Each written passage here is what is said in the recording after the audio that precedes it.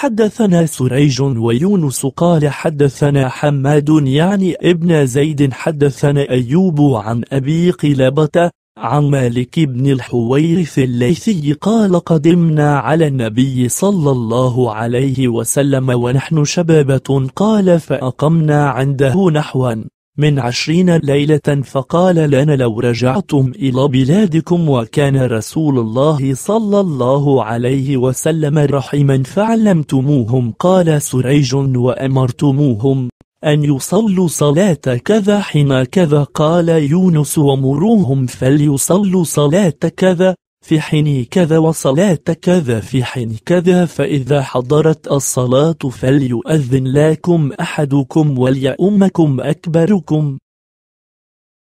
حنا محمد بن جعفر حدثنا شعبة عن خالد عن أبي قلابة عن مالك بن الحويرث وهو أبو سليمان أنهم أتوا النبي صلى الله عليه وسلم. هو وصاحب له أو صاحبان له فقال أحدهما صاحبين له أيوب أو خالد فقال لهما إذا حضرت الصلاة فأذنا وأقيما وليأمكما أكبركما وصلوا كما تروني أصلي.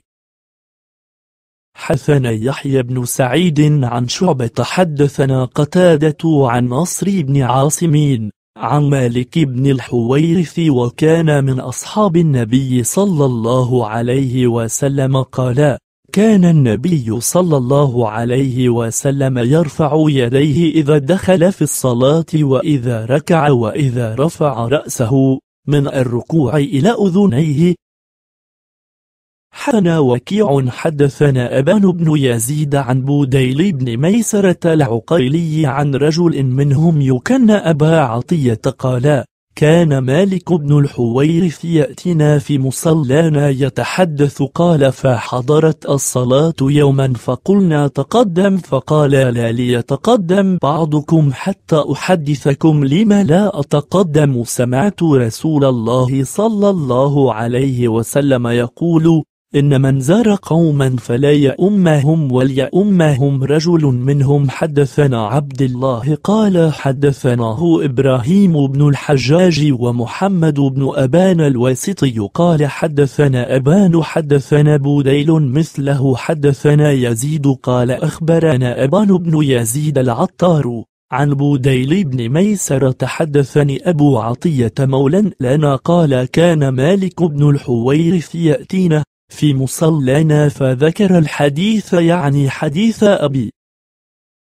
حثنا عبد الصمد وأبو عامر قال حدثنا هشام عن قتادة عن نصر بن عاصمين عن مالك بن الحويرث أن رسول الله صلى الله عليه وسلم كان إذا كبر رفع يديه حتى يجعلهما قريبا من أذنيه وإذا ركع صنع مثل ذلك وإذا رفع رأسه من الركوع فعل مثل ذلك. حدثنا إسماعيل عن سعيد بن أبي عروبة عن قتادة عن نصر بن عاصمين عن مالك بن الحويرث قال رأيت رسول الله صلى الله عليه وسلم إذا دخل في الصلاة رفع يديه وإذا ركع وإذا رفع رأسه من الركوع حتى حاذتا فروع أذنيه. حدثنا عفان حدثنا همام حدثنا قتادة عن نصر بن عاصمين عن مالك بن الحويرث أن النبي صلى الله عليه وسلم كان يرفع يديه حيال فروع أذنيه في الركوع والسجود. حدثنا عفان حدثنا أبان العطار حدثنا بوديل بن ميسر حدثنا أبو عطية مولى منا عن مالك بن الحويرث قال كان يأتينا في مصلانا فلما أقيمت الصلاة قيل له تقدم فصله قال ليصلي بعضكم حتى أحدثكم لما لا أصلي بكم؟ فلما صلى القوم قال قال رسول الله صلى الله عليه وسلم إذا زار أحدكم قوما فلا يصلين بهم يصلي بهم رجل منهم.